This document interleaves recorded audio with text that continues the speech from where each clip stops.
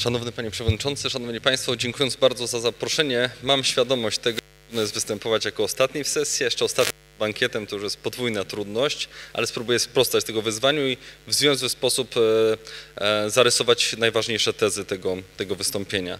Otóż e, wydaje mi się, że zastanawianie się nad pojęciem racji stanu i popularnością tego pojęcia, które obserwowaliśmy w wieku, obserwowaliśmy na początku XX wieku, obserwowaliśmy w okresie międzywojennym, zarówno w praktyce politycznej, jak i w teorii politycznej, jak również popularnością tego pojęcia, które nas, którego renesans nastąpił po wprowadzeniu stanu wojennego, a w szczególności po ponownym odzyskaniu niepodległości przez Polskę w roku 1989. Wydaje mi się, że warto się nad tym pojęciem zastanowić, dlatego że stanowi ono według mnie zachętę do tego, żeby zastanowić się nad refleksją, nad specyfiką polskiego myślenia o polityce i nad specyfiką polskiego doświadczenia państwowego. Rzeczywiście jest tak, że jeżeli obserwujemy e, to pojęcie w polskiej myśli, to właściwie trudno jest e, wymienić stronnictwa polityczne czy polityków, którzy do tego pojęcia w XX wieku się nie odwoływali, czy w okresie międzywojennym, czy współcześnie. Tymczasem, rozmawiając z naszymi współczesnymi e, kolegami, którzy zajmują się teorią stosunków międzynarodowych, którzy zajmują się państwowością, okazuje się, że w większości krajów europejskich, tak samo w Stanach Zjednoczonych, to pojęcie jest właściwie e, uznawane za archaiczne. No, ono jest zrozumiałe, ale ono raczej w myśleniu e, Włochów, Francuzów e, odnosi się do odmiennej epoki. Raczej ono jest rozumiane jako pojęcie, które jest bardzo mocno związane z narodzinami nowożytnego państwa narodowego, z porządkiem westfalskim, który e, zaistniał w Europie po 1648 roku, z porządkiem, w którym, e, w którym e, który za, zastąpił wspólnotę narodów, chrześcijańską wspólnotę narodów, która istniała w okresie średniowiecza. No więc w tym sensie to pojęcie racji stanu bardzo mocno jest związane albo z Machiavellim, albo z jego młodszym przyjacielem Guicciardinim, albo z Botero, który próbował to jezuickim myślicielem, który próbował to pojęcie rozpropagować, który je rozpropagował w Europie. W Polsce to pojęcie pojawia się bardzo późno. W Polsce to pojęcie pojawia się dopiero w drugiej połowie XIX wieku i to jest traktowane z bardzo dużą dozą e, nieufności, dlatego że kojarzy się właśnie albo e, ze znienawidzonym przez myślicieli staropolskich Machiavellim, albo ze znienawidzoną e, przez tychże myślicieli staropolskich myślicieli wieku XVI-XVII monarchią absolutną. Ta racja stanu niejako pochodzi, jakby można było mm, zaryzykować takie twierdzenie, z odmiennej tradycji państwowej, odmiennej tradycji myślenia e, o, o państwie. E, nawet w roku 1938 e, w polskiej encyklopedii można było przeczytać definicję racji stanu, która właściwie definiowała, która przedstawiała tę, tę rację stanu w sposób pejoratywny. Otóż cytuję. Racja stanu pochodzi z czasów monarchii absolutnych. Powoływanie się na rację stanu miało na celu najczęściej usprawiedliwienie różnych gwałtów, podstępów, wiarołomstw, ucisku poddanych. To też racja stanu była zawsze silnie krytykowana przez niezależnych publicystów i moralistów politycznych, Podobnie jak zasada, że cel uświęca środki. To jest niezwykle ważny rys, który się tutaj pojawia, tej nieufności wobec pojęcia racji stanu w wiekach wcześniejszych, w wieku XVII, wieku XVIII czy wreszcie wieku XIX. W moim przekonaniu znakomicie tę odmienność polskiej tradycji, tę odmienność polskiego pojmowania sfery publicznej i świata politycznego uchwycił Stanisław Tarnowski w znanym dziele z doświadczeń i rozmyślań. Otóż Stanisław Tarnowski mm, stwierdził, że właściwie w Europie istnieją dwie kluczowe tradycje. Tutaj cytuję. Pierwsza tradycja zawiera się w przekonaniu, że początkiem spraw ludzkich i ich sędzią jest Bóg, jego objawienie jest źródłem wiary, jego przykazanie regułą postępowania dla ludzi, jak i dla społeczeństw. Natomiast druga koncepcja, cytuję, opiera się na uznaniu, że środkiem ciężkości świata jest człowiek. On ma sądzić i stanowić, co jest dobre, a co złe. Jego rozum jest najdoskonalszą miarą, jego wola jest najwyższym prawem.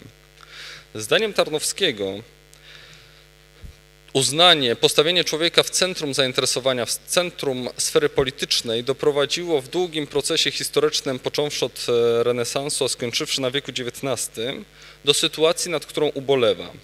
Cytuję. Dziś, czyli w wieku XIX, u schyłku wieku XIX, nikt nie mówi o tym, że stosunki polityczne powinny opierać się na słuszności i na prawach. Nikt nie pyta, nie rozróżnia, która sprawa jest dobra, a która zła kto ma za sobą słuszne prawo, a kto je gwałci. Świat nazywa walkę o byt swoim stanem przyrodzonym, normalnym, prawnym, patrzy tylko na fakt, znak i skutek siły i temu przyznaje słuszność. Tarnowski zwraca uwagę na element, który w polskim myśleniu o racji stanu jest kluczowy, znaczy na element, w którym racja stanu nie jest tylko i wyłącznie uzasadnieniem siły, nie jest tylko i wyłącznie uzasadnieniem e, działania w interesie absolutyzowanego państwa czy absolutyzowanej władzy. W polskim myśleniu racji stanu wyraźny, istotną, wyraźnie istotną rolę odgrywa ten pierwiastek idei sprawiedliwości, pierwiastek istnienia jakiegoś prawa e, przyrodzonego, prawa naturalnego, istnienia jakiegoś porządku, e, które ma ponaddoczesny charakter. Dlatego właśnie pojęcie racji stanu w wieku XX jest rozumiane w polskim języku w sposób pozytywny. Dlatego tak bardzo często do pojęcia racji stanu odwoływali się nasi antenaci w okresie międzywojennym.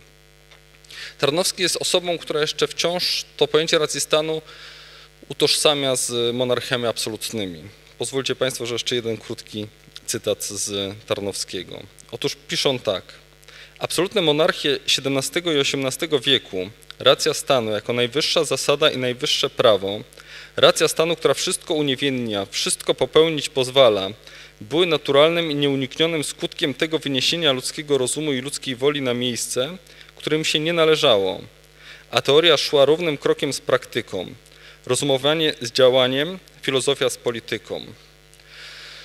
Właśnie to bardzo istotne przeciwstawienie dwóch tradycji wydaje mi się niezwykle ważnym elementem. Te dwie tradycje to oczywiście nie jest tak, że, że jedna tradycja jest y, tylko i wyłącznie specyficzna dla polskiego postrzegania świata politycznego, a druga jest tożsama dla Włoch, czy później Francji, czy w wieku XIX tych narodów, które dążą, dążyły do wzmocnienia albo dążyły do zjednoczenia i wtedy posługiwały się pojęciem racji stanu, tak e, Niemcy, Włosi, e, Węgrzy czy wreszcie Polacy. To pojęcie, to oczywiście te dwie tradycje przenikają e, tradycję polityczną europejską e, i, i w tym sensie, w tym sensie być może w niektórych krajach, w niektórych okresach zwycięża jedna tradycja, w innych okresach druga tradycja, zgodnie z tym rozróżnieniem Tarnowskiego. Ja w swojej wspomnianej przez pana profesora w sposób życzliwy publikacji podzieliłem tę, te dwie tradycje na klasyczną, dlatego że ta jedna bardzo mocno wywodzi się z tych klasycznych tradycji sięgających starożytności i, i wieków średnich, a drugą nazwałem nowożytną, dlatego że bardzo mocno związana ze wspomnianymi narodzinami nowożytnego państwa, e, suwerennego państwa, e, tego bytu, który, który do dzisiaj stanowi podstawę stosunków międzynarodowych. Tym niemniej próbując, dążąc, dążąc do konkluzji, pozwólcie Państwo, że zwrócę uwagę, że mm, to porównanie dwudziestolecia międzywojennego z dwudziestoleciem, które e, będziemy świętowali w przyszłym roku, dwudziestoleciem niepodległej Rzeczpospolitej po 1989 roku, chociaż fakt, że tak rzadko uświadamiamy sobie, że w 1989 roku również odzyskaliśmy niepodległość jest znamienny, e, zmusza do pewnych refleksji. Pozwólcie Państwo, że te refleksje będą swego rodzaju puentą. Otóż y, z perspektywy niemal 20 lat, jakie miałem od 4 czerwca 1989 roku, a tej wolny, częściowo wolne wybory wydają mi się ważnym, ważną datą e, w najnowszej historii Polski, można dostrzec te najważniejsze różnice, które e, są pomiędzy naszym postrzeganiem e, państwa i racji stanu i tym rozpowszechnionym posługiwaniem się pojęcia racji stanu w okresie międzywojennym. Po pierwsze, o czym tutaj bardzo ładnie e, mówili moi przedmówcy, naszych antenatów charakteryzowała bardzo mocna świadomość znaczenia istnienia własnego państwa. Świadomość oczywiście bardzo mocno wzmacniana 123 latami braku niepodległości, ale także świadomość wynikająca z zagrożeń, jakie, o jakich tutaj wspominano, zagrożeń, które właściwie od samego początku były, były odczuwane w taki sposób niemal bezpośredni. Da? Zagrożeń głównie o charakterze zewnętrznym, ale także wewnętrznym. Po drugie, nasi przodkowie w dużo większym stopniu od nas, od e, naszych elit politycznych, ale także od, e, od e, takiej średniej społecznej, doceniali znaczenie posiadania niepodległego państwa, znaczenie, znaczenie państwa, które jest realnym podmiotem na arenie międzynarodowej i który prowadzi, a przynajmniej usiłuje prowadzić suwerenną politykę.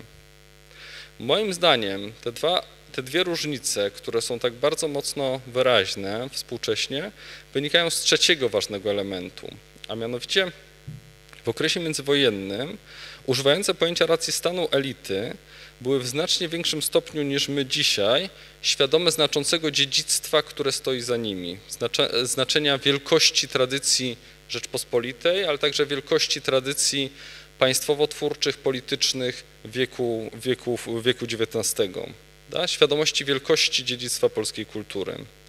Stąd właśnie w moim przekonaniu brała się ich odwaga myślenia i odwaga stawiania śmiałych projektów politycznych.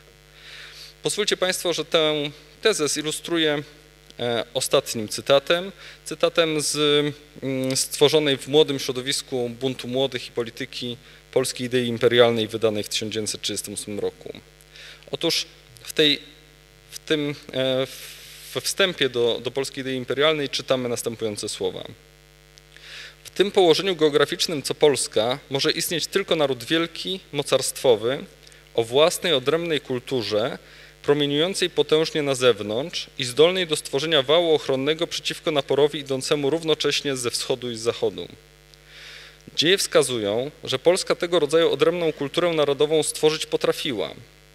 Odrębność i atrakcyjność polskiej kultury narodowej polegała właśnie na urzeczywistnieniu nie tylko w prywatnym życiu jednostek, lecz i w działaniu politycznym państwa ideałów chrześcijańskich.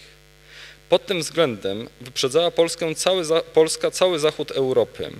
Nie ogniem i żelazem, ale tolerancją religijną i narodową budowała Polska swą potęgę na wschodzie Europy, sięgając od Bałtyku po Morze Czarne. Zupełnie inaczej wyglądałyby dzieje tej części świata, gdyby niestety polska kultura narodowa nie zaczęła ulegać degeneracji, która w końcu przyprawiła państwo o zgubę. Tej świadomości wielkości dziedzictwa, wielkości przeszłych doświadczeń państwowych, tej świadomości znaczenia niepodległego państwa szczególnie dziś nam brakuje. Dziękuję bardzo.